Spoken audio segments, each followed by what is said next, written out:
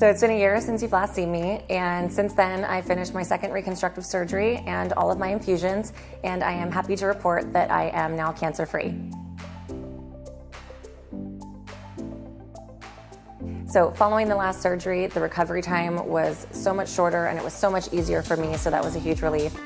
And then shortly after that, I met with my oncologist, and I was really kind of anxious about finding out, you know, does this mean I'm in remission? What is it? What are we calling this? And it was at that time that he actually said, you know, we're not using remission anymore. You're actually considered cancer free. And that those words, that feeling that you get when someone says that to you, it's like nothing you've ever heard before. Um, you still have that little bit of unease, like, oh my gosh, is this real? But it was um, probably the best moment in my life to date.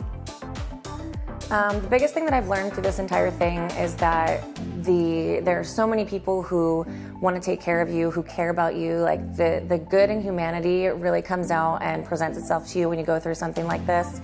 People that I hadn't talked to in years, high school friends, um, friends of friends, reached out to me, and just the amount of support from all angles was really humbling. And it really, I learned that you need to allow yourself to let people care for you. I'm a very independent person, and so that was a little difficult at first, but you need that help and you need that care.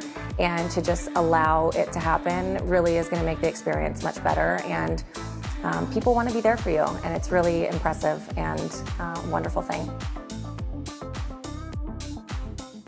In the last video, you heard that Meredith and I, I was going to throw a dart at a map and we were going to travel to wherever that place on the map took us uh, in the world. That has actually been placed on hold um, in April. Christian and I did get engaged, and so we're very excited about that engagement. We are wedding planning now, and we are doing a destination wedding, and so um, can't wait for that. But after that is all finished, hopefully we'll get back to our Dart and Map plan, and we'll take us somewhere really wonderful in the world.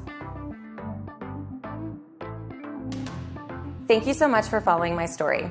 This month is Breast Cancer Awareness Month, and LaserAway will be contributing a portion of their proceeds to the Breast Cancer Research Foundation. If you'd like to join us in donating, please visit bcrf.org. And thanks again.